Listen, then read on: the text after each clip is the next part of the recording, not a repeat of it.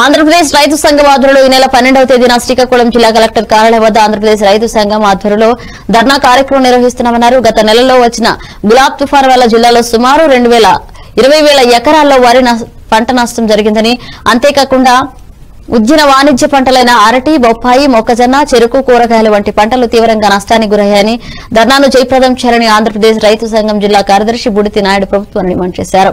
కార్యక్రమంలో పాల్గొన్న వారు రైతు సంఘం జిల్లా నాయకులు చాపర వెంకటరమణ బలగా శ్రీరామూర్తి నరసునాయుడు ప్రసాద్ తదితరులు పాల్గొన్నారు.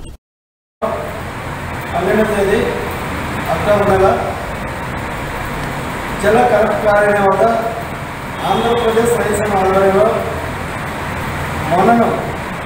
గులాబ్ తుఫాన్ వల్ల నష్టపోయిన రైతులకి పరిహారం ఎకరాకు వరికి ఇరవై ఐదు వేల రూపాయలు ఇవ్వాలని వాణిజ్య విద్యా ఎకరాకు యాభై రూపాయలు నష్టపరిహారం ఇవ్వాలని క్షేత్రస్థాయిలో గుర్తింపు చేసి సర్వే చేసి రెవెన్యూ వ్యవసాయ శాఖ అధికారుల సంయుక్త సర్వేతో తక్షణమే నివేదికలు సమర్పించాలని డిమాండ్ చేస్తూ నష్టపోయిన రైతులు ఆదుకోవాలని చెప్పేసి అన్న కార్యక్రమం ఉదయం పది గంటలకి మంగళవారం それまで